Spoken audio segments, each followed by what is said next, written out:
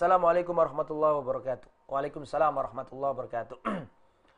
Ustadz mohon maaf tadi dikatakan Ustadz menjelaskan bahwa tauhid ada rububiyah, uluhiyah, asma wa sifat.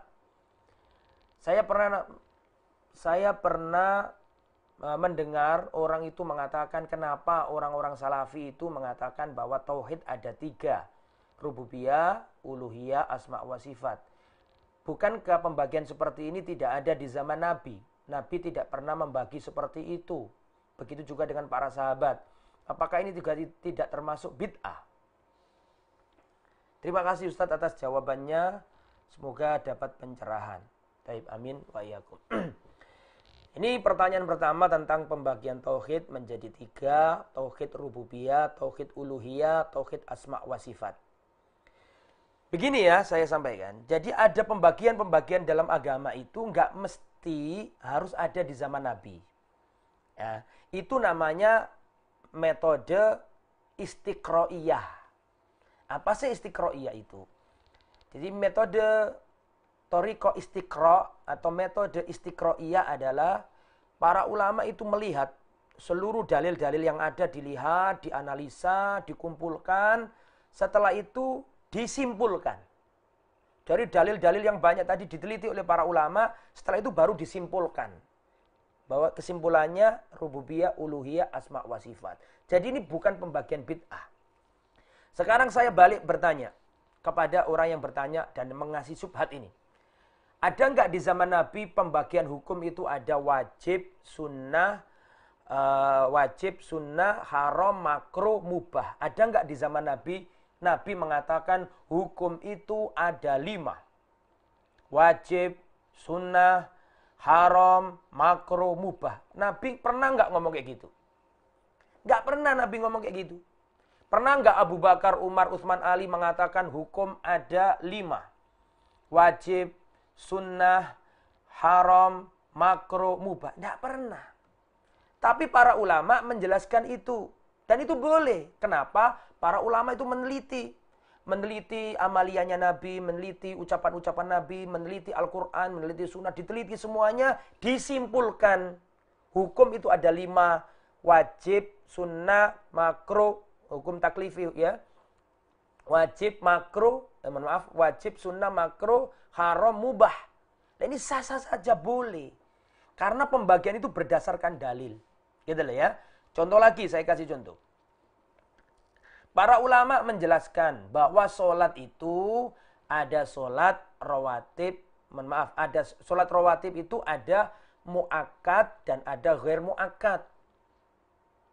Para ulama menjelaskan ada sholat rawatib. Sholat rawatib ada muakat, ada ghair muakat.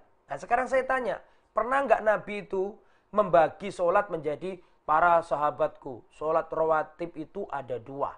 Sholat muakat dan rawatib ghair mu'akad. Pernah nggak Nabi ngomong kayak gitu? Nggak pernah Nabi ngomong kayak gitu. Tapi boleh nggak dibagi rawatib menjadi mu'akad dan ghair mu'akad? Boleh, sah. Kenapa?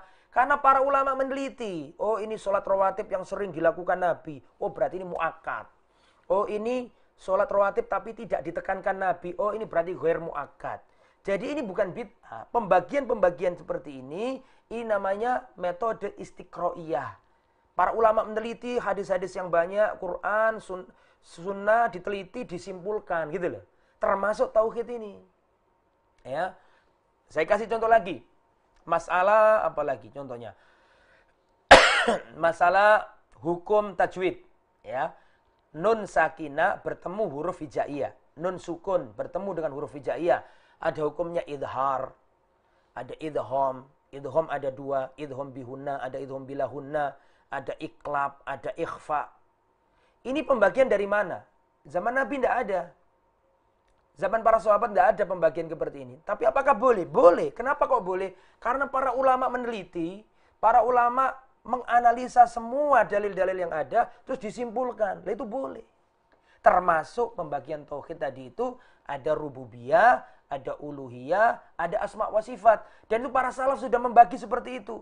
Di antaranya Al-Imam Ibnu Battah Al-Imam Ibnu Battah dalam kitabnya Al-Ibana, beliau uh, wafat pada tahun 387 Hijriah. ulama salaf. Beliau mengatakan bahwa anna asla anna aslal ini fima makna ya. Adapun penjelasannya panjang tapi ini saya sampaikan berdasarkan maknanya saja. Anna aslal imani billah sesungguhnya pokok-pokok beriman kepada Allah itu salah satu asya. Ada tiga poin kata beliau. Yang pertama an ya'taqidal abdu robbaniyatahu. Seorang hamba harus meyakini rub, Allah, rububiyanya Allah. Liyakuna dzalika mubayyinan li ahli taktil untuk membantah ahli taktil orang ateis yang mengatakan Allah nggak ada. Yang mengatakan Tuhan tidak ada, orang ateis. Makanya butuh tauhid rububiyah. Yang kedua kata beliau kurang lebih fima makna an ya'taqida wahdaniyat Allah yang harus meyakini keesaan Allah untuk membantah ahli syirik. Nah, ini berarti tauhid uluhiyah. Kemudian kata beliau yang nomor tiga, an ya'taqida annallaha mausu sifat. Meyakini bahwa Allah itu punya sifat-sifat yang Allah tetapkan untuk dirinya. Jadi Imam uh, Ibnul Battah dalam kitabnya Libana, beliau wafat pada tahun 387 Hijriah, sudah pernah menyatakan hal ini. Bahwa iman kepada Allah dibangun di atas tiga hal meyakini rububiyah Allah, rub robbaniyah, kata beliau robbaniyah pakai lafaz robbaniyah. Meyakini robbaniyah Allah, bahwa Allah ini pencipta, pengatur dan pemilik dan alam maaf Allah pencipta, pemilik dan pengatur alam semesta. Itu yang pertama. Yang kedua, meyakini keesaan Allah. Ini tauhid uluhiyah. Kemudian meyakini sifat-sifat Allah. Maka ini tauhid asma wa sifat. Jadi ini bukan bid'ah. Dan itu bukan berarti membagi Allah itu menjadi tiga unsur seperti Trinitas lah, itu beda. Ini sekedar membagi ilmu saja supaya mudah dipahami. Ya, bukan berarti Allah dibagi menjadi tiga, enggak. Itu enggak paham berarti dia. Itu ya, jadi pembagian ini boleh, sah. Ya, tidak mengapa. Dan pembagian itu lumrah terjadi. Ini namanya metode istiqro'iyah. Metode istiqro itu tidak membuat sesuatu yang baru, tidak. Tetapi mengungkap sesuatu yang ada. Ya, saya ulangi ya, metode istiqro itu bukan membuat sesuatu yang baru, bukan. Tetapi menyimpulkan sesuatu yang sudah ada. Menampakkan sesuatu yang sudah ada. Itu ya, jadi uh, pembagian ilmu tauhid tadi uh, dibagi menjadi tauhid rububiyah, uluhiyah dan asma wa sifat ini bukan bid'ah dan itu ada kalam salafnya. Dan sudah saya jelaskan tadi itu namanya metode istiqra. Semoga penjelasan ini bermanfaat.